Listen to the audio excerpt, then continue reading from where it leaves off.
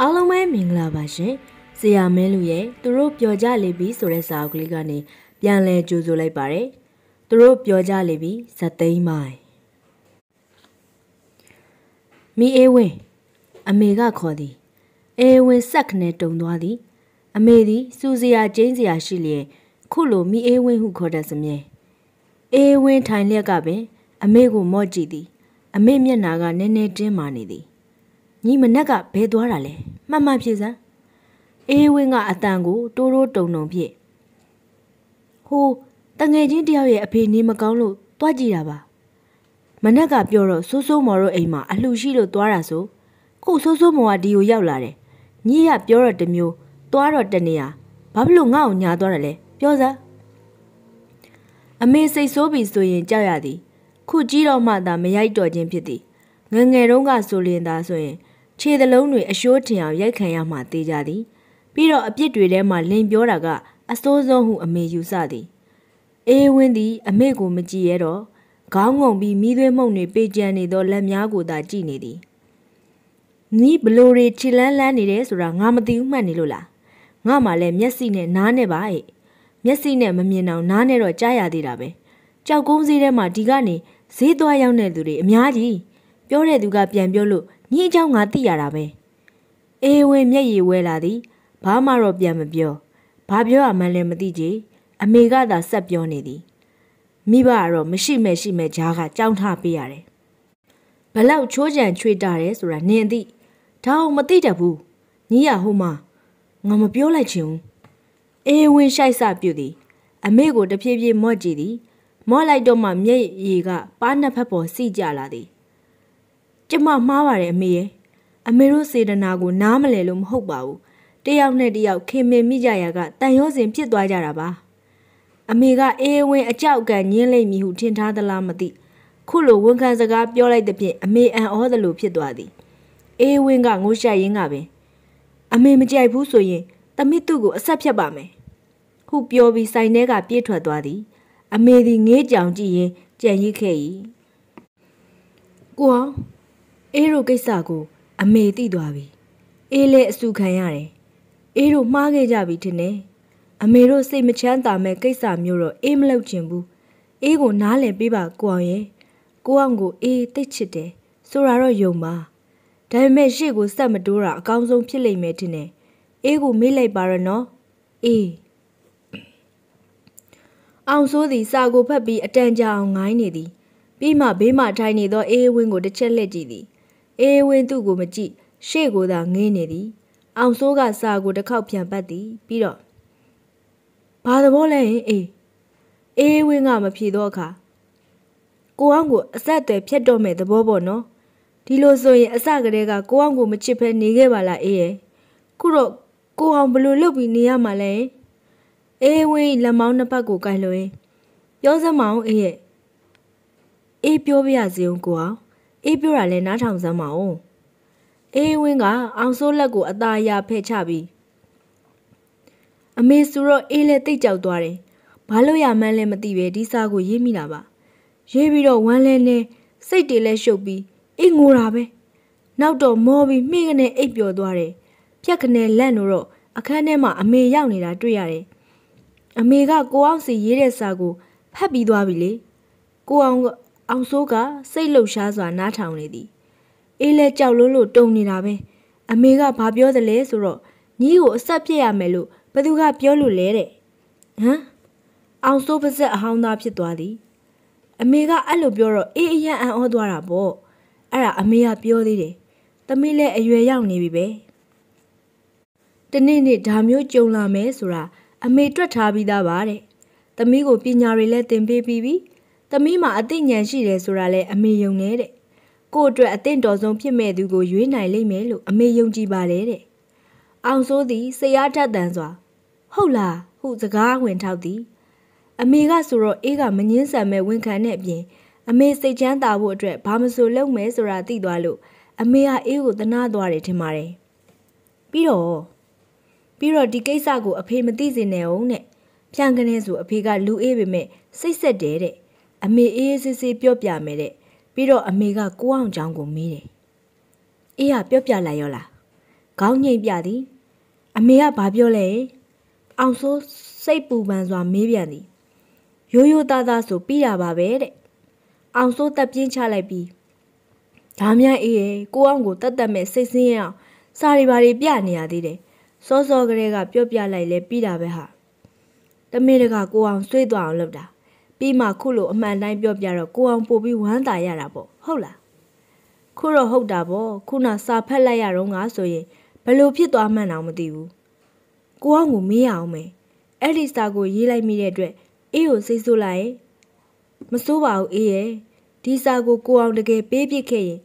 ကိုအောင်ဝမ်းနဲ့ယုံမဲရှိမှာပေါ့အေးကိုကိုအောင်စိတ်ဆိုးရမှာမဟုတ်ပါဘူးရုပ်ရှင်ရုံကထွက်ကလေးကမိုးရွာနေတယ်။ ကျောင်းဘက်ကိုပြန်လာဥရိဇာရလမ်းပေါ်ရောက်တော့မိုးကပူတဲလာတယ်။သို့ပေမဲ့ချစ်တွတ်တင်ကတော့ကားကိုအရှိန်မလျှော့ဘူး။မိုးတွေတိတ်တဲတဲ့အခါမျိုးမှာလမ်းချော်မှာကိုမကြောက်ရဘူးလေ။ခက်ခွဲခွဲကလေးရွာတဲ့အခါမျိုးသာပိုကြောက်ရတာ။တခုတော့လဲကောင်းပါတယ်။မိုးတိတ်ရွာနေတော့မိုးမုံနေကြောင်ကားလေးကိုကောင်းကောင်းမမြင်ရတော့ဘူးမဟုတ်လား။လိုင်နေတောက်ကချစ်တွတ်တရဲ့ပခုံးပေါ်မှာခေါင်းမိပြီးပါလာတယ်။ဟန်တာဝရီအဝိုင်းကို꿰ပြီးတော့ပြည်လန်းပေါ်ရောက်လာတယ်။ ပညာရေးတက္ကသိုလ်ရှေ့နားအရောက်မှာချစ်တွတ်တင်ကကားကိုရုတ်တရက်ထိုးရက်လိုက်ပြီးထိထားထိထားလို့အလံတကြားခေါ်လိုက်တယ်။ဘာလဲဘာဖြစ်လို့လဲချစ်တွတ်တင်ကလိုင်တီတားဦးရဲ့လက်ကိုရင်ဘတ်ပေါ်တင်လိုက်ပြီးကို့မှာနှလုံးသားမရှိတော့ဘူး။ဟာကိုကိုချစ်ကလည်းအလံတကြားနဲ့ဘာမှလည်းမသိဘူး။လိုင်တီတားဦးကချစ်တွတ်တင်ရဲ့ရင်ဘတ်ကိုထုတယ်။တကယ်ပြောတာမရှိရအောင်ဘယ်ရောက်သွားလို့လဲ ကိုနှလုံးသားကကို့ကိုစိတ်ကောက်ပြီးထွက်သွားတာလှိုင်နေသားဦးကြီးတယ်ဒါဆိုလဲသတင်းစာထဲကနေကြော်ညာထည့်ပြီးပြန်ခေါ်ပေါ့အဲ့လိုပြန်ခေါ်ရင်မင်းဆန္ဒအတိုင်းဖြစ်စေရပါမယ်လို့ထည့်ကြော်ညာရမှာပေါ့သူ့ဆန္ဒကဘာတဲ့လေလူပြိုကြီးဘဝနဲ့မနေချင်တော့ဘူးတဲ့အမေဟုတ်တယ်ထိတ်ထားရဲ့ကိုကိုချစ်တော့အမြန်ဆုံးလက်ထက်ခြင်းပြီတိတ်မဆောက်ရတာပါဘူးဘွဲရတော့လက်ထက်ကြတာပေါ့ထိတ်ထားတို့အိမ်ကသဘောတူမှာလား ထိတ်ထားချစ်တဲ့သူကိုသဘောတူမှာပေါ့ဥမောင်မောင်ကိုကြီးရောဘယ်လိုလုပ်မှာလဲသူနဲ့တော့တသက်လုံးမယူတကယ်လို့အိမ်ကအတင်းစီစဉ်ရောဘဲရမလဲဒါဆိုကိုကိုချစ်နောက်ကိုလိုက်ခဲ့မှာပေါ့ပြောရင်းဆိုရင်းမှာပဲချစ်ထွတ်တင်ကဖောက်လာပြန်တယ်မြမအတန်ကရုပ်မြင်တန်ကြားလွှင့်တဲ့တာဝါတိုင်းထိပ်ပေါ်ကိုလက်ညှိုးထိုးပြပြီးဟာထိတ်တာဟိုမှာတွေ့လားဘာလဲဘာလဲကိုနှလုံးသားလေ အဲ့ဒီထိတ်ကနေခုံချမယ်လို့ပြောနေတယ်ကိုကိုချစ်ကလည်းလှုပ်ပြန်ပြီဟုတ်တယ်ထိတ်သားရဲ့ကိုနှလုံးသားကပြောနေတယ်သူလှုပ်ခိုင်းတာမလုပ်ရင်ခုံချလိုက်မယ်တဲ့ဘာလှုပ်ခိုင်းတာလဲချစ်တွတ်တင်ကလိုင်းဒေတာကိုရင်ခွင်နဲ့ဆွဲသွင်းလိုက်တယ်ပြည်လမ်းပေါ်မှာကားတွေရှင်းနေတယ်ကားမှန်ကရင်ငွေ့ပြန်လို့ကားထဲကိုမမြင်တာဘူးမိုးကတဲလို့ကောင်းတော့ကားထဲမှာတော့မတ်စဖတ်တာမိတ်ကပ်နဲ့နှကန်းနီနဲ့ပွန်ပီယာရင်မွေးနဲ့တွေကလွှမ်းမိုးနေတယ် လှိုင်ဒေတာတို့အိမ်မှာအခြေအနေတွေထူးခြားနေပြီလူကြီးတွေရဲ့လှုပ်ရှားမှုကသိတာလာတယ်ဥမောင်မောင်ကိုကြီးကနိုင်ငံသားကပြန်လာနေပြီလေဥမောင်မောင်ကိုကြီးရဲ့မိဘတွေကအိမ်ကိုမကြခဏလာလေကြတယ်အမေနှစ်ယောက်ဟာတိုးတိုးတိတ်တိတ်စကားပြောကြတိုင်ပင်ကြနဲ့လှိုင်ဒေတာကတော့သိလိုက်ပြီဥမောင်မောင်ကိုကြီးပြန်ရောက်မဲ့အချိန်နဲ့စာမွေးပွဲပြီးမဲ့အချိန်နဲ့အန်ကိုက်လောက်ပဲဒီတော့အဲ့ဒီအချိန်မှာစစ်ဆက်ထားမယ်အောင်စင်းထွက်တဲ့အချိန်လောက်မှာလက်တက်ပေးမယ်ဒီလိုပဲဖြစ်နိုင်တယ် လှိုင်နေထားအုပ်ကိုတော့လူကြီးတွေကဘာမှမပြောသေးစာမေးပွဲနီးတဲ့အချိန်မို့လို့မပြောတာဖြစ်လိမ့်မယ်မဲမဲကဥမောင်မောင်ကိုကြီးဟာဘလောက်တော်ကြောင်ဘလောက်ယူသားကြောင်တွေကိုတော့မကြာခဏဆိုသလိုပြောပြီးနားဝင်အောင်စတင်စူးစမ်းနေပြီအဲ့ဒါဘလို့လုပ်ကြမလဲလို့လှိုင်နေထားအုပ်ကချစ်တွတ်တင်ရဲ့ရင်ဝင်ကိုမှီပြီးပြောတယ်ထေတာတိတ်ဆိတ်ရှုပ်တာပဲတကယ်လို့မဲမဲတို့ကကိုကိုကြီးနဲ့အတင်းပေးစားရင်သူ့ကိုတော့မယူဘူးထိတ်ထားကိုထိတ်ထားတတ်တည်ပြစ်လိုက်မှာ ပြောရင်မျက်ရည်ဝဲလာတယ်ချစ်တွတင်ကလိုင်ဒေတာဦးရဲ့မီးစစ်ကလေးကိုဆွဲမောလိုက်ပြီးဟမ်ထိတ်ထားငိုနေတယ်ဘာဖြစ်လို့ငိုတာလဲတိတ်ပါကိုကိုချစ်တယောက်လုံးရှိသေးတာပဲအားငယ်စရာမလိုပါဘူးဘာလို့ရမှာလဲကိုနောက်ကိုလိုက်ခဲ့ပေါ့လိုက်ပါလားလိုင်ဒီတာအုပ်ကခေါင်းညင်နေကိုကိုတိတ်ချလာရင်လို့ချစ်တွတင်ကမေးတယ်မင်းမမေးရတဲ့ကိုကိုချစ်ရဲ့ကိုကိုချစ်နဲ့ခွဲရမယ့်ကိစ္စမျိုးဆိုရင် စိတ်ကူးကြည့်တာတော့အယမ်းခံစားရပါတယ်။ကဲဒါဆိုလဲစိတ်အေးအေးနေတော့ကိုကိုချစ်ကြည့်ပြီးတော့စီစဉ်ထားမယ်။အရေးကြုံလာရင်ထိတ်သားကတတိရှိဖို့လိုတယ်နော်။အချစ်အတွက်ဆိုတတိရှိရမှာပေါ့ကိုကို။အိုးဘဘရောမှမခွဲဘူးကိုကိုကိုတိတ်ချစ်တယ်လိုင်ဒီတာဦးကချစ်တွတ်တင်ရဲ့ရင်ဝင်မှာမျက်နှာအပ်လိုက်တယ်လိုင်ချစ်တွတ်တင်ကလိုင်ဒီတာဦးရဲ့ကြောပြင်ကိုပုတ်တက်ပေးရင်စပင်ကလေးတွေကိုနမ်းနေတယ် အောင်စိုးသည်ရင်တထိတ်ထိတ်နှင့်လာခဲ့သည်အေးဝင်းကအိမ်ကိုအလဲခေါ်သောကြောင့်လာခဲ့ခြင်းဖြစ်သည်အမေနဲ့လည်းတွေ့ရတာပေါ့ဟုအေးဝင်းကပြောသည်ရုပ်ဖွင့်ရဖြစ်သောကြောင့်အေးဝင်းတို့အဖေတော့အိမ်မှာရှိလိမ့်မည်မဟုတ်ချေအေးဝင်းပြောပြသည့်အမတ်သားလမ်းညွန်အတိုင်းလျှောက်လာခဲ့သည်လမ်းကြားနှစ်ခုလောက်ကိုချိုးဝင်ခဲ့ရ၏မိသေးဆိုင်ကလေးကိုတွေ့သည်အေးဝင်းတို့သည်အိမ်တလုံး၏တချမ်းကိုငှားနေကြခြင်းဖြစ်သည်အိမ်ကသွမိုးပြင်ကာဖြစ်သည်အိမ်ရှိ အဲကိုင်းကကျင်းချင်းကလေးပင်စက်တီကလထိုင်ခနွမ်းနွမ်းသုံးလုံးနှင့်ခောက်ကလထိုင်နှလုံးရှိသည်အောင်စိုးလာမြစ်ကြောင့်အေးဝင်းကအမေကိုကြိုပြောထားပြီးဖြစ်သည်တကယ်တော့အမေကအောင်စိုးနှင့်တွေ့ကျင်သည်ဟုဆိုသဖြင့်အေးဝင်းကခေါ်ပေးခြင်းဖြစ်သည်အေးဝင်းတို့အမေသည်အသားလက်လက်ခတ်ပိန်ပိန်ဖြစ်သည်ရုပ်ကအေးဝင်းနှင့်တိတ်မတူအေးဝင်းကဖေးအူဖြစ်နိုင်သည်အမေသည်စကားပြောပုံခက်ပြက်ပြက်ဖြစ်တော်လဲအတန်ကချိုတာသည်အောင်စိုးကိုဆက်ဆံမုံကပြူးပြူးငါငါရှိသည် အောင်စိုး၏မိဘတွေကြောင့်မေးသည်အောင်စိုးကတော့ကျွန်တော်မှအမေမရှိတော့ပါဘူးကျွန်တော်မွေးကားစားကလေးကစုံသွားတာပါကျွန်တော်တို့သားအဖနှစ်ယောက်တည်းပဲရှိပါတယ်အဖေကအခုစပိန်ပြင်ဆိုင်ဖွင့်ထားပါတယ်ဟုပြောပြသည်အေးဝင်းကအမေကမမေးရသေးခင်အောင်စိုးကသူ့အဖေ၏အလုတ်အကိုင်ကိုပြောပြလိုက်သည်ထိုအကြောင်းအမေအားအေးဝင်းကပြောပြခဲ့ခြင်းဖြစ်ခြင်းလဲဖြစ်ပေလိမ့်မည်။အိုးအေးကောင်းပါတယ်ကွယ်။ကိုပိုင်လုပ်ငန်းဆိုတော့ ကိုလက်ကိုချီလှုပ်လို့ရတာပေါ့။ဒေါ်တော်တို့တော့မှအေးဝင်းတို့အဖေပစ္စည်းယူပြီးရင်ကြောက်ကုန်းဈေးထဲမှာဖြစ်ဖြစ်ဆိုင်ကလေးတစ်ဆိုင်တီမလားစိတ်ကူးထားတယ်။ဟုအမေကပြောသည်။မိမိတို့လုပ်ငန်းကိုအထင်မြင်သေးဟန်မပြသဖြင့်အောင်စိုးစိတ်သက်သာယာရသွားသည်။အေးဝေးမောင်လေးကအိမ်ရှိထွက်လိုက်အိမ်နောက်ဖေးဝင်လိုက်လို့ရဲ့အောင်စိုးကိုအကဲခတ်နေသည်အေးဝေးညီမလေးကလည်းမိသွေးဆိုင်ထဲမှာနေ၍တစ်ချက်တစ်ချက်ခိုးကြည့်ရင်ပြုံးစီစီဖြစ်နေသည် အောင်စိုးပြန်သွားတော့အခါအမေကကောင်လေးကရိုးပုံရပါတယ်ဟုပြောသည်ထိုအကြောင်းကိုအောင်စိုးကသူ့အဖေကိုပြန်ပြောပြရာအဖေကဝမ်းသာအားရဖြင့်ဒါဆိုအဖေဘရော့လိုက်တောင်းပေးရမလဲဟုပြောသည်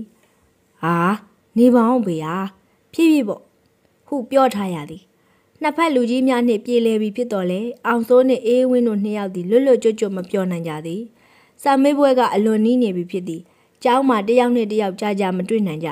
မနဲ့ကျောင်းတူတူသွားကြစဉ်လောက်သာဘတ်စကားပေါ်မှာအေးအေးဆေးဆေးစကားပြောရသည်စာမေးပွဲမဖြေခင်ကိုပိုင်စာကြည့်လိုက်ရက်ဖြစ်ကျောင်းပိတ်ပေးသည်ထိုရက်များတွင်သူတို့မတွေ့ပြကြတော့အောင်စိုးသည်စပိန်ပြေဆိုင်ထဲမှာအလွတ်လွတ်ရင်းစာကြည့်သည်အဖေကမလှုပ်စေခြင်းသူလည်းနေကောင်းပြီဖြစ်ပြီးအောင်စိုးကိုအေးအေးဆေးဆေးစာကြည့်စေပြီးသူ့အလုပ်သူပြန်လုပ်ချင်နေသည်အောင်စိုးကလှုပ်ခွင့်မပြု အဖေဒီကျမ်းမာလာပြီဖြစ်တော့လေနားလက်စနဲ့ဆက်နာစေခြင်းသည်အောင်စိုးဆောင်မွဲဖြည့်သည့်ရက်ဆိုရင်တော့ဆိုင်ကိုကြည့်နိုင်မည်မဟုတ်ဆိုင်ပိတ်ထားလည်းမဖြစ်ဖောက်တယ်တွေပြက်သွားရင်မကောင်းထိုရက်တွေကြရင်တော့အဖေပဲဆိုင်ကိုကြည့်ရပါလိမ့်မည်ဘေးပေါက်တာလောက်စမုတ်တိုင်လဲတာလောက်စားသောအသေးအဖွဲလေးတွေပဲလေးခံခိုင်းမည်ရက်ွက်ထဲကကောင်လေးတယောက်ကိုမုတ်ဘိုးပေးပြီးအဖေကိုကူဖို့ခေါ်ထားမည်အဖေကကြည့်ယုံကြည့်ပြီးကောင်လေးကိုလှုပ်ခိုင်းရင်ဖြစ်နိုင်သည်ဟုစိတ်ကူးထားသည် လှိုင်နေသားဦးတို့အိမ်မှာတော့လူကြီးတွေအလုရှုပ်နေကြပြီဥမောင်မောင်ကိုကြီးနိုင်ငံခြားကပြန်လာကန်ဒီလို့စစ်သက်ကြောင်းလဲရေးကိစ္စအတွက်လူကြီးချင်းကြိုတင်ညှိနှိုင်းနေကြတဲ့ကြားထဲမှာသတင်းတစ်ခုကိုရရှိလိုက်ကြတယ်အန်အောတုံလှုပ်ခြောက်ချားပွဲသတင်းပဲ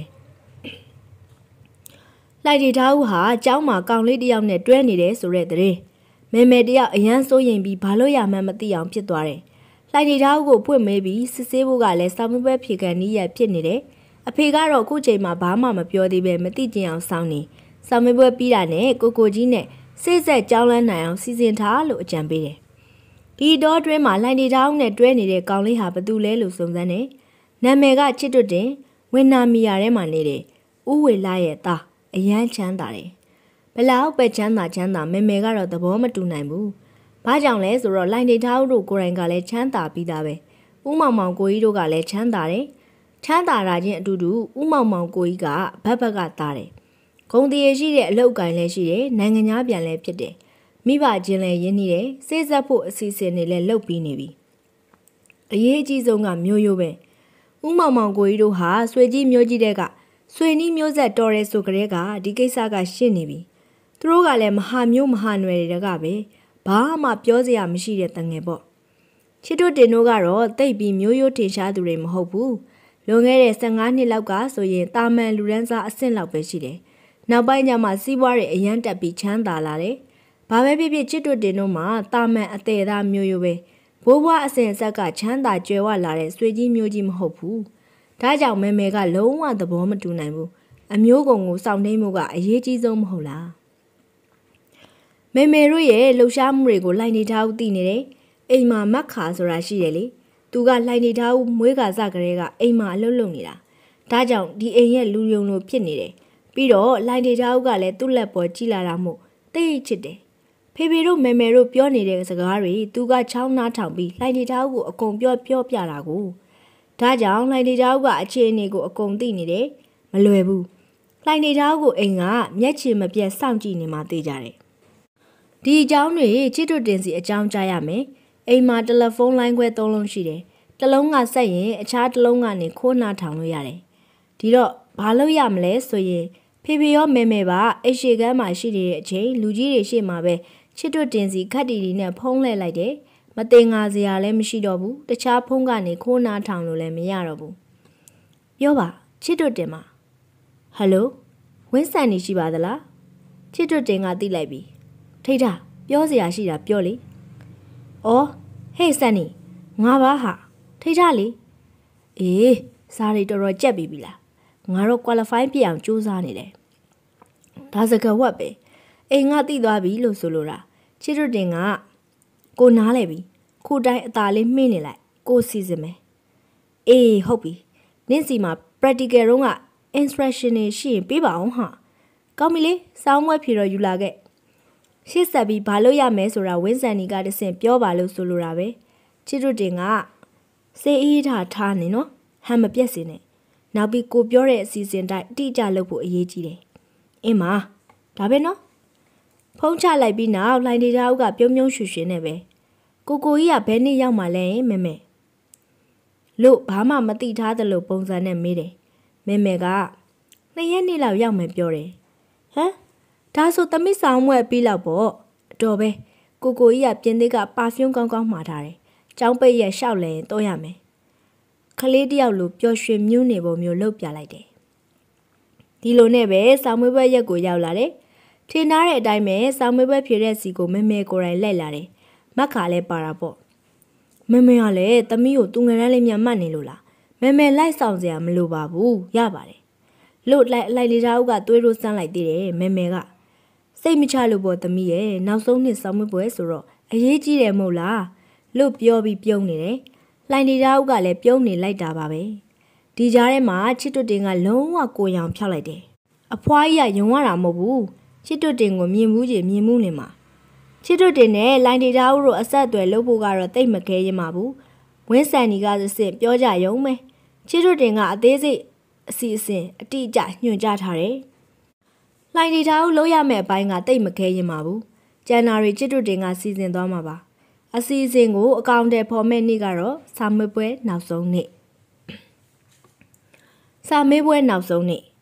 အောင်စိုးနှင့်အေးဝင်းတို့သည်စာမေးပွဲအပြီးတွင်အင်းလျာကံပတ်သို့ရှောက်ခဲ့ကြသည်အကျော်စားသည်ပြီးတော့ကန်ဆက်ရှိတစ်ပင်ရိပ်တစ်ခုမှထိုင်ကြသည်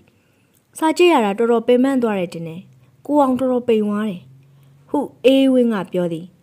အေးလဲပိန်သွားတာပဲအေးဖြေနိုင်တယ်မဟုတ်လားဖြေနိုင်ပါတယ်ကိုအောင်ရောဖြေနိုင်တာပေါ့อืมစာမွေးပွဲပြီးသွားပြီဆိုတော့စိတ်ထဲမှာတော်တော်ပေါ်ပါသွားတယ်နော်ဒါပေမဲ့ကြောင်းမတက်ရဘူးဆိုရင်အေးနဲ့တိတ်တွေ့ရတော့မှာမဟုတ်ဘူးနော်တွေ့ရင်အိမ်ကိုလာလဲပေါ့အမေကလည်းကိုအောင်လက်ခံထားပြီးပြီပဲမဟုတ်လားတော့ကြအေးတို့အဖေနဲ့တိုးနေလို့ပြဿနာတက်နေပါအောင်မယ်ဒီအတွက်မပူပါနဲ့လေအမေကအဖေကိုပြောပြထားမှာပါ အေးတို့အဖေကသဘောတူပါမလားတူမှာပေါ့အဖေကသဘောကောင်းပါတယ်အမေသဘောတူရဲဆိုရင်အဖေကလည်းကျေနပ်မှာပါကဲပညာရေးကိစ္စလည်းပြီးပြီလူကြီးတွေကလည်းကျေနပ်ကြပြီဘာလို့သေးလဲအေးဝင်းကအောင်စိုးကိုကြည့်ပြီးကိုအောင်ကိုပြောစရာတခုရှိတယ်ပြောလေအေးတို့ဘရော့လက်ထက်ကြမှာလဲအေးရဲ့ဆန္ဒကိုပြောပါအောင်လေအေးဝင်းကခတ်တူးတူးပြောတယ်အေးရဲ့စိတ်ကူးကဘွဲရပြီးရင်လှုပ်ရှားမယ် အလုပ်ရပြီးတဲ့အခါကျတော့ဖေတို့မေတို့ကိုလှုပ်ကြွေးခြင်းသေးတယ်ပြီးတော့လဲညီမလေးဆယ်တန်းအောင်လာလို့ចောင်းဆက်တက်ဖြစ်တယ်ဆိုရင်လဲအေးရှာလို့ရတဲ့ငွေနဲ့ထောက်ပံ့ခြင်းသေးတယ်ညီမလေးပွဲရတဲ့အထိကိုအောင်စောင့်နိုင်မှာမလားယင်ပြောပြီးအောင်စိုးကိုမရဲတရဲကြည့်သည်အောင်စိုးကအေးတို့မိသားစုအခြေအနေကိုကိုအောင်နားလဲပါတယ်အေးရဲ့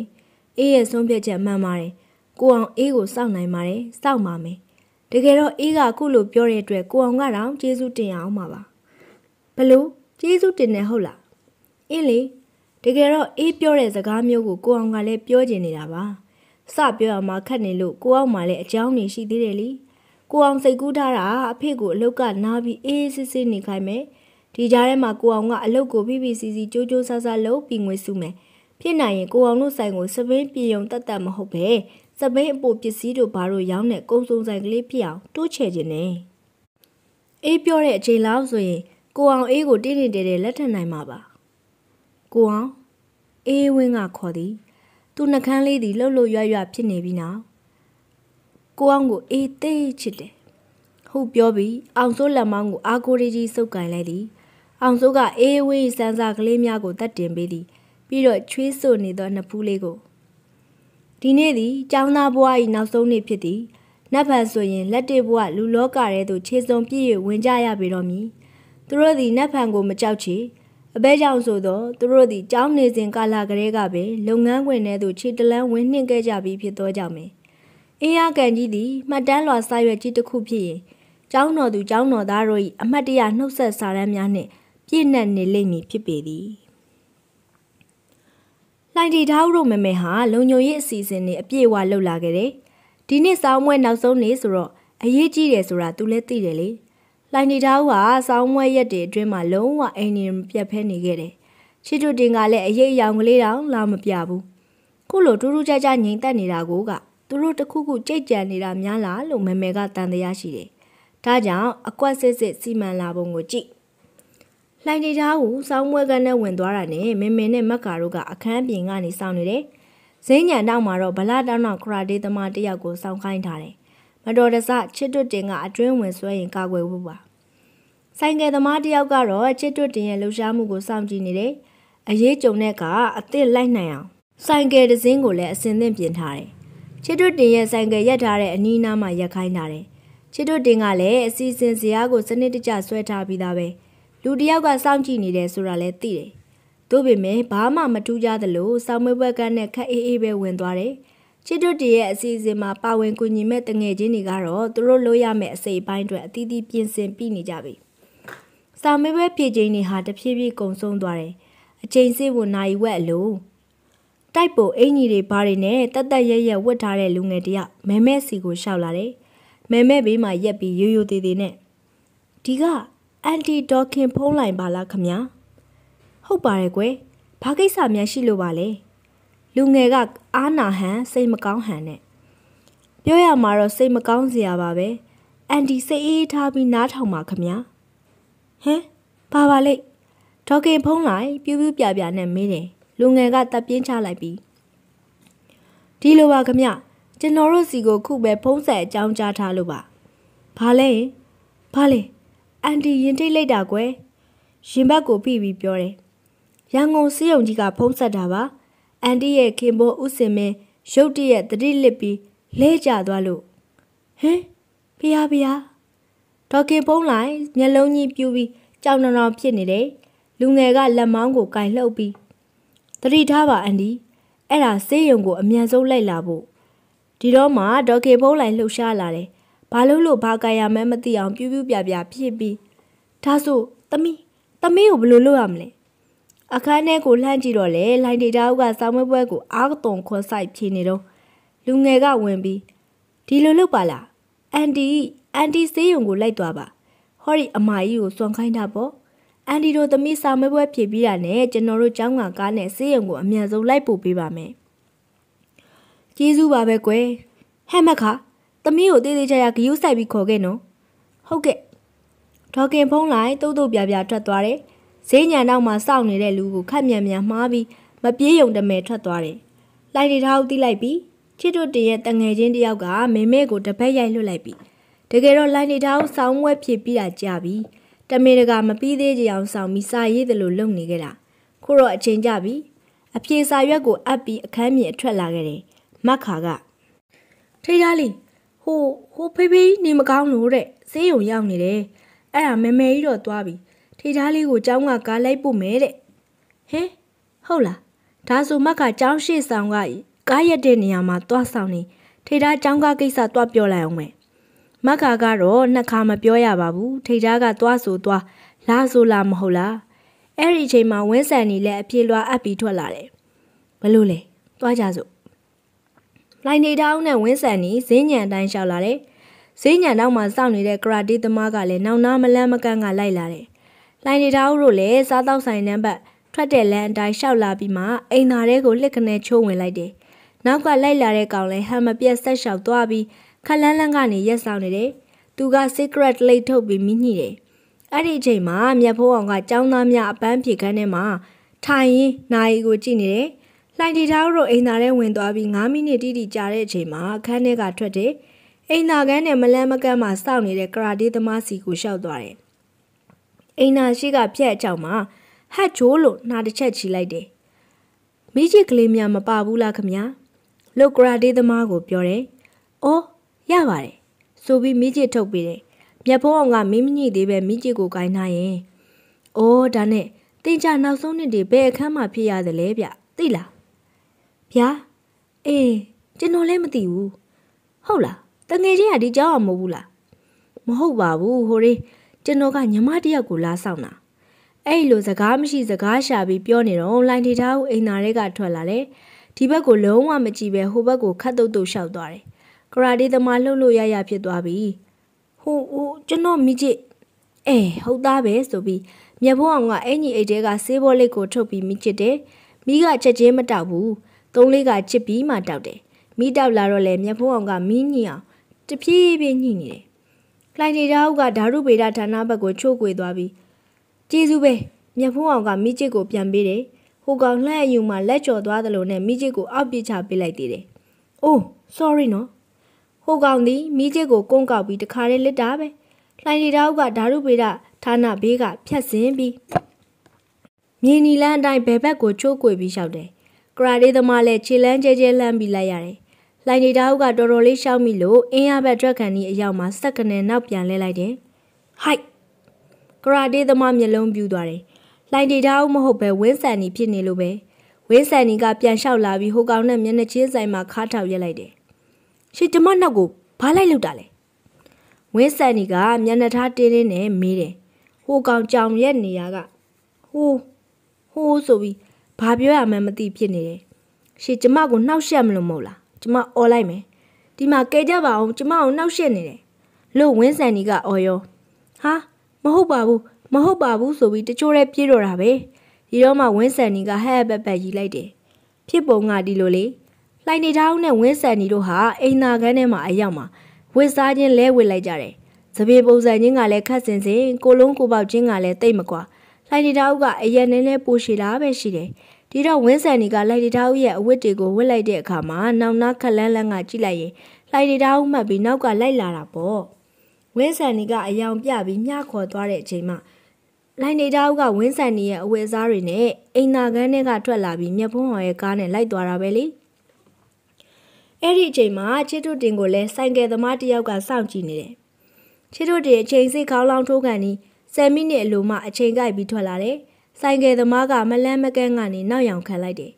ချစ်တို့တင်ကဆိုင်ကယ်ရက်ထားတဲ့စာကြည့်တိုက်ရှိကိုခတ်တုတ်တုတ်ရှောက်သွားတယ်ပြီးတော့ဆိုင်ကယ်ပေါ်တက်ပြီးဆက်နိုးတယ်အရှိန်နဲ့မောင်းထွက်သွားတယ်ဟိုငနဲကလည်းဆယ်ကိုက်လောက်အကွာကနေမောင်းလိုက်လာတယ်ချစ်တို့တင်ကဆိုင်ကယ်ကိုအတိပတိလမ်းမှာပေါ်မောင်းတက်လိုက်တယ်ပြီးတော့မှတပတ်ပက်ပြီးအဝင်လန်းကပြန်ဝင်စာကြည့်လိုက်ရှိမှပြန်ရက်လိုက်တယ်နောက်ကကောင်လည်းခက်ကြောင်ကြောင်နဲ့ချစ်တို့တင်လှုပ်တယ်လို့တပတ်ပက်ပြီးစာကြည့်လိုက်ရှိပြန်ရက်လိုက်ရတယ် ချစ်တို့တင်ကတော့မြင့်သိမ့်မြင့်သေးတယ်နောက်ရောက်ခံလိုက်နေတာကိုလုံးဝမသိတယ်လို့ပဲစားတောက်ဆိုင်တန်းတွေဘက်ကိုသွားပြီးတစ်ခွရည်တစ်ခွက်ကိုမှပြီးခက်အေးအေးထိုင်တောက်နေလိုက်တယ်ဆိုင်ကယ်သမားလည်းတခြားဆိုင်တစ်ဆိုင်ဝင်တိုင်ပြီးလက်ဖက်ရည်မှတောက်တယ်ချစ်တို့တင်ကအေးတောက်ပြီးတော့ငွေရှင်းပြီးထွက်လာတယ်ဟိုငနေကလည်းလက်ဖက်ရည်ဖို့ရှင်းပြီးနောက်ကလိုက်လာတယ်စာကြည့်လိုက်ရှေ့ရောက်ပြန်တော့ချစ်တို့တင်ဆိုင်ကယ်ပေါ်တက်ပြီးဆိုင်နိုးလိုက်တယ်ဟိုငနေလည်းသူ့ဆိုင်ကယ်ပေါ်တက်ပြီးဆက်နိုးတယ်မရဘူး နှစ်ခါသုံးခါနှိုးလို့မရတော့မှစစ်ဆေးကြည့်လိုက်တော့သူ့ဆိုင်ကယ်ကပလက်ကျိုးကိုတယောက်ယောက်ကဖြုတ်ယူထားတာတွေ့လိုက်ရတယ်သူပြူးပြူးပြပြနဲ့ချစ်တို့တင်ကိုကြည့်လိုက်တော့ချစ်တို့တင်ကဆိုင်ကယ်ဆက်တန်တဝီဝီလှုပ်ရင်ပြုံပြတယ်ပြီးတော့ခန်းငင်ငင်ကလေးပဲမောင်းထွက်သွားတယ်ဟိုငနဲ့ရောင်ပြီးချစ်တို့တင်ဆိုင်ကယ်နောက်ကိုပြေးလိုက်မလို့လှုပ်သေးတယ်ပြီးမှမကြည်မချမ်းနဲ့ရက်ပြီးကြံခဲ့တယ်ဒေါခင်ဖုံးလိုက်ကားပေါ်ကဆင်းပြီးစေးရုံကြီးအရေးပေါ်ဌာနကိုဝင်နေ စိတ်ပူပြီးကတုတ်ကရိုက်တွက်လာလို့ဘယ်ဌာနဆိုတာမမေးခဲ့ရဘူးဒါကြောင့်အရေးပေါ်ဌာနမှာဟိုမေးတီမင်းနဲ့နောက်ဆုံးကြမှာစေးရုံမှတ်ပုံနေဌာနကအဖြေရလိုက်တယ်ဒီစေးရုံမှာဥစေမင်းဆိုတဲ့နာမည်နဲ့စေးရုံတက်နေတဲ့သူတရားမှမရှိပါဘူးတဲ့ဒေါခင်ဖုံးလိုက်ရင်ထဲကဒိတ်ငနေဖြစ်သွားတယ်ဘာလို့လို့လို့ရမှန်းမသိဖြစ်နေပြီးမှသတိရသွားပြီးအိမ်ကိုဖုံးလန်းဆက်လိုက်တယ်ဖုံးကင်တဲ့သူကတော့သူ့ရဲ့ချစ်လာစွာသောခင်ပွန်းဥစေမင်းကိုယ်တိုင်ပါပဲ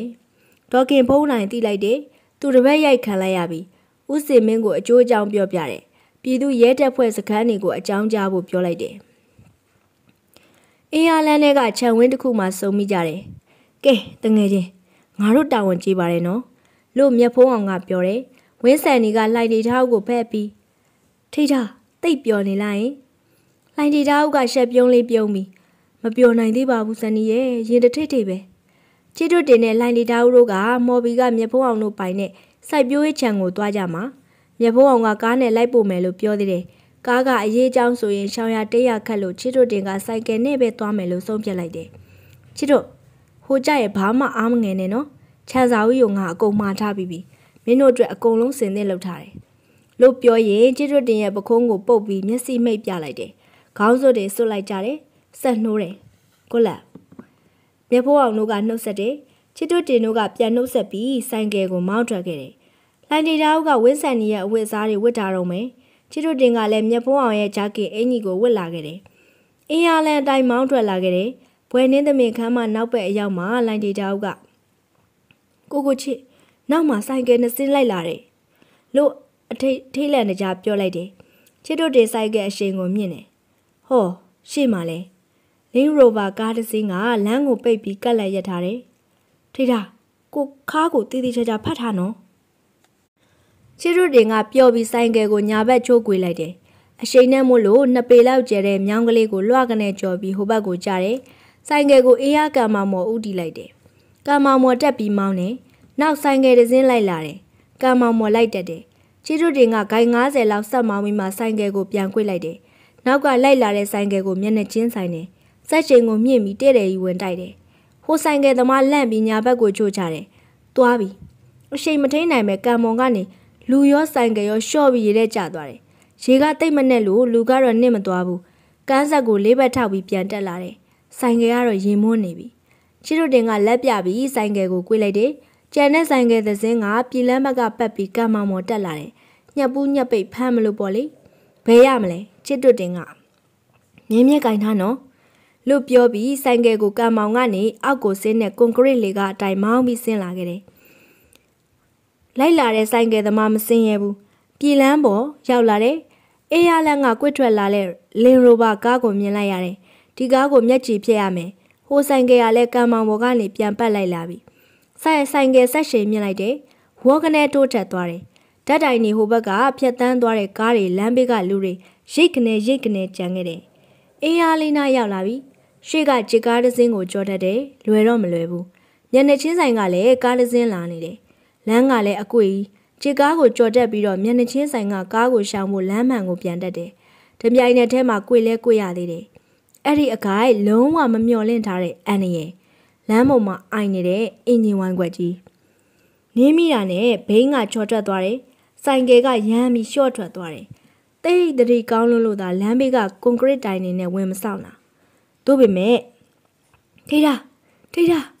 ဆိုင်ကယ်ကကွန်ကရစ်တိုင်နေကြကတီတီလေးထွက်ပြီးလေးလေးမြောက်တက်သွားတယ်။အောက်မှာပေ20လောက်နှက်ဆိုင်နဲ့ကြံကြီး။လှိုင်တီထားဦးရဲ့စူးစူးဝါးဝါအော်လိုက်တဲ့အတန်ပြီးတော့မြေပြင်ပေါ်ကိုတရှိန်တို့မှောင်သွားတယ်။ချစ်တို့တင်ပြန်သတိရလာတယ်။မွေရတခုပေါ်မှာလှဲနေတယ်လို့သိလိုက်ရတယ်။ဆေးရုံပေါ်မှာဖြစ်လိမ့်မယ်။တကူလုံးနာကျင်းနေတယ်။ညာဘက်လက်ကိုလှုပ်ကြည့်တယ်ရတယ်မစိုးဘူး။ဘယ်ဘက်လက်ကိုလှုပ်ကြည့်တယ်စုကနေနာသွားတယ်။ဟောသားလေးသတိရပြီတင်နေမမေအတန်ကြားရတယ်မျက်စိဖွင့်ကြည့်တယ်အစကတော့ဝါးနေတယ်နောက်တစ်ဖြည်းဖြည်းကြည်လင်လာတယ်စိုးရည်လေးကြီးကြည့်နေတဲ့မမေမျက်နှာပြီးတော့တီတီငိမ့်ငိမ့်ပဲရှိနေတဲ့ဖေဖေသားသားလေးသတိရပြီနော်မေမေကမေးတယ်ချစ်တို့တင်ကခေါင်းညိတ်ပြပြီးကျွန်တော်ဘာတွေဖြစ်သွားသေးလဲဖေဖေကအိတ်ကြီးကြီးကျယ်ကျယ်မထိပါဘူးကွာ ဟဲလ်မတ်နဲ့ဆိုတော့ခေါင်းကိုမတီးဘူးပေါ့ကြီးကြီးမားမားဆိုတော့ဘဲဘက်လက်အစ်စ်လွဲသွားတာလောက်ပါပဲကျန်တာကတော့ပွန်းနာပဲ့တာလောက်ပေါ့သားရဲ့လှိုင်တီတာဦးကဘာဖြစ်သွားသေးလဲကလေးမကတိတ်ကန်ကောင်းတယ်ကွာဆိုင်ကယ်ပေါ်ကနေလွန့်ထွက်သွားတာရေအိုင်နဲ့ကြလို့ဘာမှမဖြစ်တဲ့လောက်ပဲတော်သေးတာပေါ့သူတို့ကကျွန်တော်ကိုအမှုဖွင့်ထားသေးလားအစကတော့ရဲစခန်းတိုင်ထားတာပဲခုတော့သူတို့လဲသူတို့သမီးပြန်ရသွားတော့တိုင်ချက်ကိုရုတ်သိမ်းသွားပါပြီ။အော်ထိတ်သားကသူ့အိမ်ပြန်ရောက်သွားပြီကို မေမေကချစ်တို့တရဲ့ရင်ဘတ်ပေါ်လက်တင်ပြီးအဲ့ဒီအတွက်ဘာမှမပူပါနဲ့တားရဲ့မေမေတို့သားဆန္ဒအတိုင်းဖြစ်အောင်အပြင်းထန်ကြိုးစားပါမယ်။ဒီကိစ္စအတွက်ဖေဖေတောင်းဝန်ထားပါကွာလို့ဖေဖေကလည်းပြောတယ်။လိုက်တီသားဦးအိယာပေါ်မှာလဲနေတယ်။ဖြစ်ခဲ့တဲ့ကိစ္စကလေးရက်ကြာခဲ့ပြီဖြစ်ပေမဲ့ခုရီအကြောက်မပြေသေးဘူး။ကံကောင်းတောင်းမှလို့ဘာမှတော့ဒဏ်ရာကြီးကြီးကျယ်ကျယ်မရခဲ့ဘူး။နည်းနည်းပွန်းပဲ့သွားတာပေမဲ့ ခုလိုမတော်တဆဖြစ်မှုမျိုးတစ်သက်လုံးမကြုံခဲ့ဘူးတော့စိတ်ထဲမှာတိတ်ထိခိုက်ရတယ်။ညဆိုရင်အိတ်မပြောဘူး။မိကနေဖြစ်သွားရင်လေဆိုင်ကယ်ပေါ်ကလွင့်စင်ကြတဲ့အိမ်မက်ကိုမှတ်ပြီးလက်အော်မိတယ်။နေရထိုင်ရတာလန်းလန်းဆဆမရှိဘူး။မောမောနေတယ်။အားလဲတိတ်ငယ်တာပဲ။အဲ့ဒီပြဿနာဖြစ်ပြီးကလေးကလှိုင်နေထားဦးအိမ်ထဲကအိမ်မြင်ထွက်ခွင့်မရဘူး။အင်းလေးထွက်နိုင်တဲ့အင်အားလည်းမရှိပါဘူး။တယ်လီဖုန်းလည်းဆက်ခွင့်မရဘူး။အိတ်ခမ်းထဲမှာထားတဲ့တယ်လီဖုန်းတစ်လုံးကိုလည်း ဖြုတ်ထားလိုက်ကြပြီကိုကိုချစ်သူဘာဖြစ်သေးလဲဒဏ်ရာကြီးကြီးကျယ်ကျယ်မြန်ရသွားသေးလားသူ့ကိုဖမ်းထားကြပြီလားလို့လဲစိုးရင်ခဲ့ရတယ်မက္ခာကသူကြားထားတဲ့သတင်းတွေပြန်ပြောပြမှသိရတယ်ချစ်တို့တင်စေးရုံပေါ်ရောက်နေတယ်ဒဏ်ရာရသွားပေမဲ့စိုးရိမ်စရာမရှိဘူးလို့စိတ်နဲ့နဲ့အေးရတယ်တို့ပေမဲ့ကိုကိုချစ်နဲ့တော့နောက်ထပ်ပြန်တွေ့ရတော့မှာမဟုတ်ဘူးထင်ပါရဲ့ဖေဖေတို့မေမေတို့ကကိုကိုကြီးနဲ့စစ်ဆက်ဖို့အမြန်ဆုံးစီစဉ်ကြတော့မှာပါ ကိုကိုကြီးကမနှက်ဖန်ဆိုပြန်ရောက်ပြီး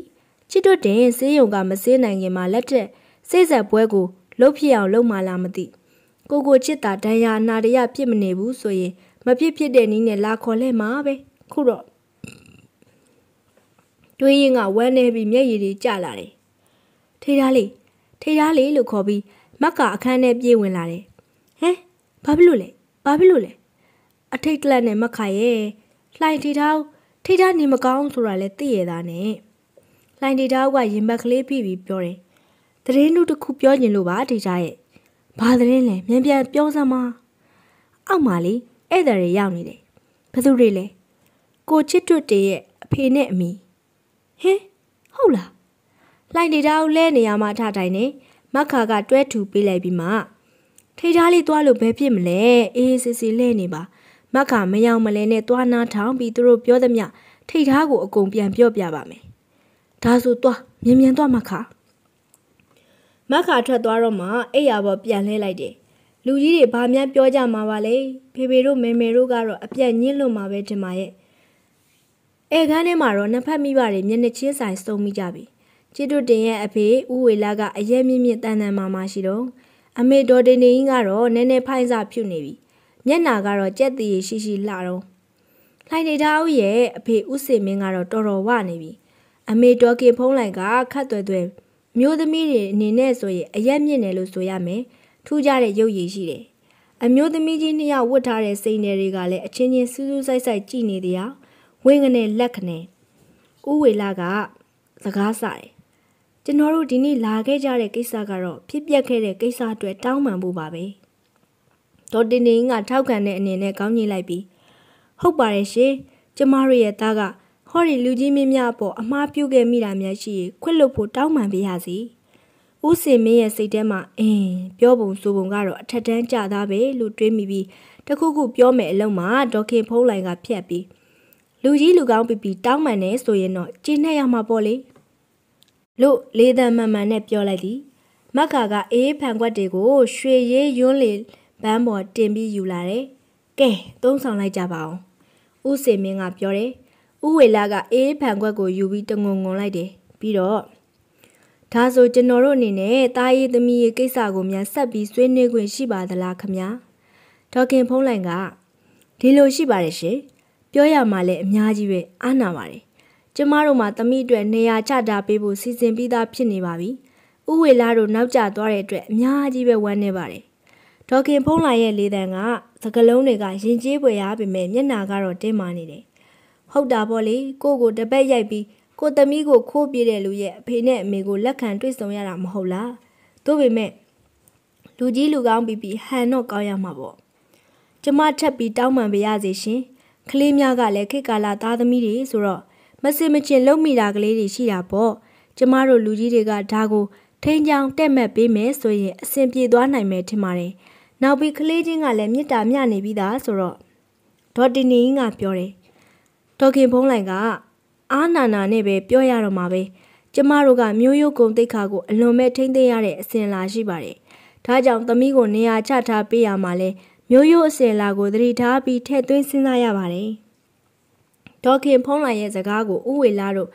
စတင်တိုက်ခိုက်တာပဲဥဝေလာတို့မျက်နှာကွက်ခနဲပြတ်သွားလိမ့်မယ်လို့ထင်လိုက်တယ် ဒါပေမဲ့ဥဝေလာကခတ်ပြုံးမြုံပဲကျွန်တော်တို့မျိုးရိုးဟာလဲအညံ့အပြင်းနဲ့ကမဟုတ်ဘူးဆိုတာသိစေအပ်ပါတယ်ခမညာကျွန်တော်ဟာဆိုရင်ဟန်တာဝရီပရိမြင့်မြတ်ဖြစ်တဲ့သူရှင်တကာရွက်ပြီးရဲ့မိဖုရားတစ်ပါးကဆင်းသက်လာတဲ့မျိုးရိုးဖြစ်ပါတယ်ခမညာဒေါခင်ဖုံးလိုက်နည်းနည်းလေးတွေ့သွားတယ်ဥဝေလာကကျွန်တော်အနေနဲ့အထောက်အထားတစ်ခုတင်ပြပါရစေဆိုပြီးတိုက်ပိုအင်ကြီးတဲကရွှေနဲ့လှုပ်ထားတဲ့ဘူးကလေးတစ်ဘူးကိုထုတ်လိုက်တယ် ဒီအိမ်မှာဘသူဩဇာအကြီးဆုံးလဲဆိုတာသိနေပြီဒါကြောင့်ဒေါခင်ဖုံးလိုက်ကိုဘူးလေးကမ်းပေးတယ်ဒေါခင်ဖုံးလိုက်ကဘူးကလေးကိုယူတယ်ဖွင့်ကြည့်လိုက်တယ်အထဲမှာဗရံများလက်စွပ်တကွင်းဥဝေလာကအဲ့ဒီလက်ဝတ်တော်ဟာကျွန်တော်တို့ရဲ့ပထမမျိုးဆက်ဖြစ်တဲ့ကျွန်တော်အဖိုးရဲ့ဖွားတော်ကြီးကိုဘယင်မင်းမြတ်ကိုတော်တိုင်းချီးမြှင့်ပေးသနာခဲ့တဲ့လက်ဝတ်တော်ပါပဲခင်ဗျာလက်စွပ်မှာတက်ထားတဲ့ဘရဲ့ဗရံများကြီးဟာမာကျောတဲ့အရာတစ်ခုလို့တောင်မထင်ရဘူး သွေးတစ်ဆက်လိုရဲပြီးအည်လဲနေတယ်ဗရံများရဲ့အယောင်ဟာဒေါခင်ဖုံးလာရဲ့မျက်လုံးတွေမှာတော့ထင်ဟပ်နေတယ်ဥဝေလာကဒီလက်ဝတ်တော်ကိုကျွန်တော်တို့ဆွေစဉ်မျိုးဆက်ထိမ့်သိမ်းခဲ့တာပါခမညာတကယ်လို့ဥစီမင်းတို့ဒေါခင်ဖုံးလိုက်တို့လက်ခံမယ်ဆိုရင်အဲ့ဒီလက်ဝတ်တော်ကိုတင်တောင်းပေးရစီဒေါခင်ဖုံးလိုင်ကဥစင်မင်းကိုဖြတ်ခနဲကြည့်လိုက်တယ်ဥစင်မင်းကဒေါခင်ဖုံးလိုင်ကိုမကြည့်ဘူးဗရံမြလက်စုပ်ကိုပဲငေးဆိုင်ကြည့်နေတယ် ကိုစိတ်မကောင်းပါဘူးလို့ဥမောင်မောင်ကိုကြီးကသုံးချိန်မြောက်တက်ပြောတယ်ချစ်တွတင်စီကိုဥမောင်မောင်ကိုကြီးလာတွေ့တော့ချစ်တွတင်ကအံ့ဩသလိုဖြစ်သွားတယ်ပြီးမှတခုခုအပေးယူလုပ်ဖို့လာတာဖြစ်မှာပဲလို့တွက်လိုက်တယ်ကိုနိုင်ငံသားကပြန်ရောက်ချင်းဒီသတင်းကိုကြားရတာပဲကြားကြချင်းကိုအရန်တုံလုံးအံ့ဩသွားတယ်စိတ်မကောင်းခြင်းကြီးစွာလည်းဖြစ်ရပါတယ်စိတ်မကောင်းဖြစ်ရတယ်ဆိုတာကတခြားမဟုတ်ပါဘူးကိုချစ်တွတဲ့ခုလိုနာရရပြရတဲ့အတွက်ပါပဲ ကျေးဇူးတင်ပါတယ်ခင်ဗျာလို့ချစ်တွတင်ကပြောတယ်ကိုချစ်တွတရဲ့ဒဏ်ရာတွေကဘလို့နေသေးလဲကောင်းသလောက်ရှိနေပါပြီတရက်နှစ်ရက်နေရင်ဆေးရုံကဆေးရတော့မှာပါဒီလူကြီးဘာကြောင့်လာတာလဲမဆိုင်နာတွေရှောက်ပြောနေတယ်သူပြောချင်တာကိုမပြောသေးပဲနေနေတာသိတာတယ်ဒါကြောင့်ဦးမောင်မောင်ကိုကြီးမှကျွန်တော်ကိုပြောဖို့ကိစ္စအထွေထူးများရှိသေးလားလို့ဖွင့်မေးလိုက်ရတော့တယ်ဦးမောင်မောင်ကိုကြီးကတပ်ပြင်းတစ်ချက်ချလိုက်ပြီးဟုတ်ပါတယ် ကို့မှာပြောစရာတခုရှိပါတယ်ဆိုပြီးမပြောသေးပဲတွေးနေပြန်တယ်ပြီးမှကိုဟာချစ်တို့တင်နဲ့ထားလေးတို့ကြားမှာအနှောက်ယှက်ပေးတယ်လူချမ်းကြီးတယောက်များဖြစ်နေပြီလားလို့ပြောတယ်လူချမ်းကြီးမဟုတ်ဘဲမင်းသားဖြစ်ခြင်းရင်အလွမ်းဆက်ကလေးခင်းလိုက်ပါလားလို့ချစ်တို့တင်ကစိတ်ထဲကပြောတယ်ပါဇက်ကတော့ကျွန်တော်တော့ဒီလိုမယူဆပါဘူးလို့ပဲပြန်ပြောလိုက်တယ်ဥမောင်မောင်ကိုကြီးငိုင်းနေပြန်တယ်တပ်ပြင်းချပြန်တယ် ဒီပြဿနာကိုဖြေရှင်းဖို့ကို့အနေနဲ့ဆုံးဖြတ်ချက်တစ်ခုကိုပြက်ပြက်သားသားချမှတ်ဖို့လိုအပ်နေပြီထင်တယ်ချစ်တို့တဲ့အုံနောက်တွင် အလုံများသွားတယ်ဖြစ်နိုင်ကြီးကိုခံမှန်းတယ်အဖြေထုတ်တယ်ပြီးတော့ဥမောင်မောင်ကိုကြီးရဲ့အဆုံးဖြတ်ကိုကျွန်တော်နာခံဖို့အသင့်ပါပဲလို့ယူအသေးကျိုးနွန်တဲ့အတန်နဲ့ပြောတယ်။ဥမောင်မောင်ကိုကြီးဟာအပြင်ကိုအကြာကြီးကြာအောင်ငေးကြည့်နေပြီ။ကိုနောက်ဆုတ်ပေးဖို့ဆုံးဖြတ်လိုက်ပါပြီလို့ တုံခါလိုက်မောတဲ့အတန်နဲ့ပြောတယ်။တကယ်တော့ချစ်တဲ့သူချင်းပေါင်းဖက်ကြတာဟာအသင့်လျော်ဆုံးအမှန်ကန်ဆုံးပါ။ချစ်သူနှစ်ဦးအတွက်ကိုအနစ်နာခံလိုက်ပါတော့မယ်။လိုင်တီတားဦးကဦးမောင်မောင်ကိုကြီးကတိုက်ပိုအင်ကြီးတဲကဘူးကလေးတဘူးကိုတုတ်တယ်။ရွန်စွန်တန်းငွေမိချစ်ကလေးချစ်တွတ်တင်ကိုလှမ်းပေးပြီးအစကတော့ကိုချစ်တွတ်တင်ကိုလက်ဆောင်ပေးဖို့ခုတော့ဒါကိုကိုယ့်ရဲ့မင်္ဂလာလက်ဆောင်ပြပြောင်းလဲပေးရခဲ့ပါတယ်။ ဦးမောင်မောင်ကိုကြီးမတ်တက်ရက်လိုက်တယ်။ကိုသွားတော့မယ်ကိုကိုခွင့်လွတ်ပါလို့ပြောတယ်။ပြီးတော့မသွားသေးဘူးခဏစဉ်းစားနေပြီးမှငါညီနဲ့ထားလေးတို့အသက်ထက်ဆုံးပျော်ရွှင်စွာပေါင်းဖက်နိုင်ကြပါစေလို့ကိုစုတောင်းခဲ့ပါတယ်ကွာလို့ပြောပြီးချစ်တွတင်ကိုလက်ကမ်းပေးတယ်ချစ်တွတင်ကဥမောင်မောင်ကိုကြီးရဲ့လက်ကိုစုပ်ကင်ပြီးလှုပ်ရမ်းနှုတ်ဆက်လိုက်တယ်ဥမောင်မောင်ကိုကြီးကချစ်တွတင်ကိုရီဝေတဲ့မျက်လုံးတွေနဲ့စိုက်ကြည့်ပြီးအားယူပြီးပြုံးပြတယ် ပြီးတော့ခြာကနေလှည့်ထွက်သွားတယ်ချစ်တွတင်ပြုံးမိတယ်ဒီလူကြီးဒီစကားမျိုးတွေပြောလိုက်မယ်လို့ထင်သားပဲသူတို့လိုလူကြီးမျိုးတွေကမေတ္တာဆိုတာစွန့်လွတ်ခြင်းလို့ခံယူထားကြတယ်မဟုတ်လားပြီးတော့အချစ်အတွက်အနစ်နာခံရတဲ့အလုံမျိုးကိုသိဝါဒနာပါကြတာခုလိုစွန့်လွတ်အနစ်နာခံလိုက်ရတဲ့အတွက်သူ့တသက်လုံးဂုံယူလို့ဆုံးမှာမဟုတ်တော့ဘူးရည်ရတယ်နော်ကိုကိုချစ်လှိုင်တီတားကဂရင်လေးနားကိုပြေးလာတယ်ကိုကိုချစ်ရဲ့ ချစ်တို့တင်ရဲ့လက်ကိုစုပ်ကိုင်းပြီးမျက်ရည်တွေကျလာတယ်။အိုးထိတ်တာဘာလို့ငိုရတာလဲ။ကိုကိုချစ်လက်နေကောင်းနေပြီပဲကွယ်။ဝမ်းနဲ့လို့ငိုတာမဟုတ်ပါဘူး။ဝမ်းသာလို့ပါ။ဟုတ်တယ်ကိုကိုချစ်။ဝမ်းသာတယ်ဟုတ်လား။ဒီသတင်းကိုပြောပြကြည့်လို့ထိတ်သားကိုယ်တိုင်လာခဲ့တာပါ။မေမေတို့ကလေထိတ်သားကိုကိုကိုချစ်နဲ့သဘောတူလိုက်ပြီတဲ့သိလား။ဟာဝမ်းသာလိုက်တာထိတ်သားရဲ့ ချစ်တို့တင်ကလှိုင်နေသားရဲ့လက်မောင်းကလေးကိုကင်ပြီးမျက်နှာချင်းကတ်သွားအောင်ဆွဲယူလိုက်တယ်။ဟင်းကိုကိုချစ်နော်ဆေးရုံပေါ်မှာလို့ပြောပြီးကိုကိုပြန်ခွာလိုက်တယ်။နောက်ချစ်စရာကောင်းလောက်အောင်ပြုံးပြီးနောင်များကြမှာနော်လို့ပြောတယ်။ချစ်တို့တင်ကလက်ခုံကလေးကိုပဲယူနှမ်းလိုက်ရတယ်။အဲ့ဒီအချိန်မှာဟေးကိုရီလွမ်းလို့မပြီးကြသေးဘူးလား။ဆိုတဲ့အတန်နဲ့အတူမြတ်ဖုံးအောင်နဲ့ဝင်းဆန်နေလို့ရောက်လာတယ်။မြတ်ဖုံးအောင်ကချစ်တို့တင်ကိုတငယ်ချင်း မင်းလူကြီးတွေကိုပြစ်မှားလို့ဝစ်လေတာကွာလို့ပြောတယ်။ဘာဖြစ်လို့လဲ။မင်းကလိုင်ရီသားဦးတို့အဖေဆေးရုံတင်ရတဲ့ဘာညာနဲ့ညာခဲ့တယ်မလား။ဒါကြောင့်ခုမင်းဆေးရုံတက်ရတာ။အေးဟုတ်တယ်ကွာ။ခုတော့ပြီးသွားပါပြီကွာ။မင်းတို့ကိုဝမ်းသာစရာပြောရအောင်မယ်။ငါတို့နှစ်ယောက်ကိုလူကြီးတွေကသဘောတူလိုက်ပြီ။ဟာဟုတ်လား။မြတ်ဘိုးအောင်ကချစ်တို့တင်ကိုလက်ဆွဲနှုတ်ဆက်ပြီး congratulation တငယ်ချင်းဝဲဆန်နီကလည်းလှိုင်တီသားဦးကိုဖတ်လိုက်တယ်ပြီးတော့ဟာ ထိတာမျက်ရည်တွေနဲ့ပါလား။အိုးမျက်စီတဲ့ပိုးကောင်ဝင်သွားလို့ထင်ပါရဲ့။လို့ချစ်တွတင်းကဝင်ပြောတယ်။လိုက်နေတောက်ကကိုကိုနော်ဆိုပြီးချစ်တွတင်းရဲ့ရင်ဘတ်ကိုထုမယ်လုပ်ပြီးမှဟွန်းသူနာသွားမှာဆိုလို့လို့မျက်စောင်းကလေးထိုးပြီးပြောလိုက်တယ်။စိတ်ဆက်ကြောင်းလန်းပွဲကိုစစ်ထရင်းဟိုတယ်မှာလုပ်မယ်။မင်္ဂလာအကန်ပွဲကိုအေးရကန်ဟိုတယ်မှာလုပ်မယ်လို့ဆုံးဖြတ်လိုက်ကြတယ်။ပြဿနာတစ်ခုပဲရှိတယ်။လက်ထက်ပြီးရင်ဘယ်အိမ်မှာနေကြမလဲဆိုတာ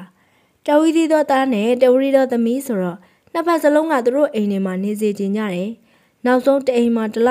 တလဲစီနေဖို့သဘောတူလိုက်ကြတယ်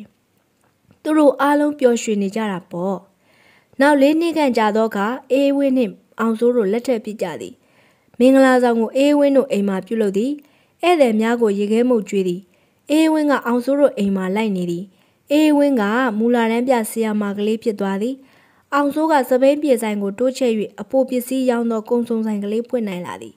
အေးဝင်းတို့မိဘများကိုတစ်လ90ထောက်ပံ့ကြသည်သူတို့လည်းပျော်တော့ပျော်ကြပါသည်အားလုံးကိုကျေးဇူးတင်ပါတယ်ရှင်ဆရာမင်းလူရဲ့သူတို့ပြောကြလေပြီဆိုတဲ့စာအုပ်ကလေးကတော့ဒီမှာပဲဇက်သိမ်းသွားပါပြီနောက်ခါများမှာလည်းဘလို့ဝတ္ထုလေးတွေနဲ့ဘလို့တင်ဆက်အောင်မလဲဆိုတာဆက်လက်စောင့်မျှော်နားတော်တာဆင်ကြပါအောင်ရှင်ကျမကတော့တင်ဆက်သူယူပါ